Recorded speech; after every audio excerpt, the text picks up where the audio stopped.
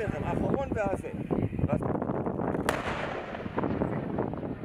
ראיתי שהוא ירד.